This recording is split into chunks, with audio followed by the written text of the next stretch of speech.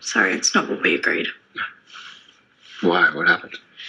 Mum said she wants them to figure out who they are without each other.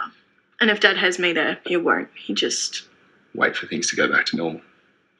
So you are moving in with us? No.